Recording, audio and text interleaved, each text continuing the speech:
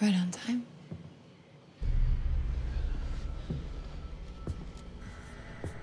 Okay. Uh, are you gonna show me?